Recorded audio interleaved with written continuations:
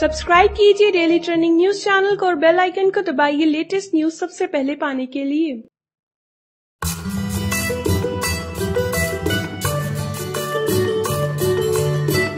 जसलीन और शिवाशीष के बीच बढ़ती नजदीकियों का सिलसिला यूँ ही जारी है।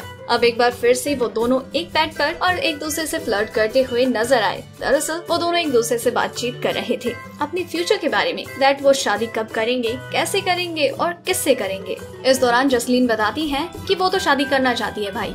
लेकिन शिवाशीष कहते हैं, वो शादी नहीं करना चाहते, क्योंकि वो इतने अच्छे नहीं है ना। हाँ ये बात अलग है कि मैं सात साल तक एक रिलेशनशिप में रहा हूँ और मुझे अब भी कई लड़कियाँ ऐसी मिलती हैं कि जिनसे मैं शादी कर सकता हूँ, लेकिन मन नहीं करता। यहाँ पर इशारों ही इशारों में जसलीन की तरफ़ देखते हुए वो कहते हैं कि लड़की तो मिल गई है। ये कहकर शिवाशीष ने ये तो क्लियर कर दिया है कि उनके और जसलीन के बीच कुछ तो है, जिसे वो और आगे तक लेकर जाना चाहते हैं। और साथ ही इन दोनों की बातचीत से ये पक्का हो चुका है कि जसलीन और शिवाशीष के बीच वाकई कुछ तो चल रहा है। बिग बॉस बारह से जुड़ी ऐसी ही कॉन्ट्रोवर्सीज लड़ाई झगड़े, हँसी मज़ाक, मौज मस्ती और बिग बॉस हाउस से जुड़ी और भी कई खबरों के लिए बने रहे हमारे साथ, क्योंकि आपको बिग बॉस बारह से जुड़ी हर लेटेस्ट अपडेट सबसे पहले यही मिलेगी।